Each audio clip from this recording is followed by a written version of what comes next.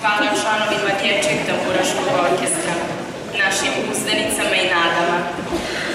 U drugom dijelu nastupa Festivalski tamburaški orkestar Hrvatske glazbene udruge.